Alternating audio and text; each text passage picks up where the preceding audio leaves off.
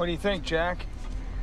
You think if you pick up all the bus drivers' teeth, they'll give you another medal? Jeez. You think I wouldn't have been prepared? Two years I spent setting up that elevator job. Two years I invested myself in it.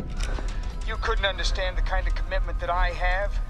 You were in a man's life's work, and you think you can walk away. You got blinders on to the world.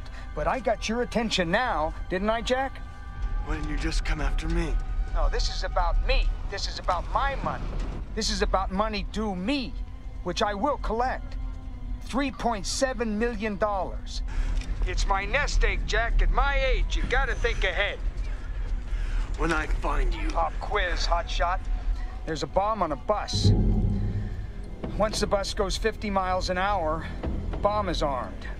If it drops below 50, it blows up. What do you do? What do you do? I'd want to know what bus it was. You think I'm gonna tell you that? Yes. Ah, very good. There are rules, Jack, and I want you to get this right. No one goes off the bus. You try to take any passengers off the bus, I will detonate it. I want my money by 11 a.m.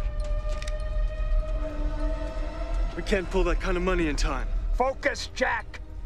Your concern is the bus. And don't try to call. The radio's down.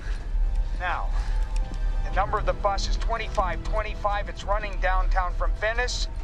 It is at the corner of Ocean Park, Main.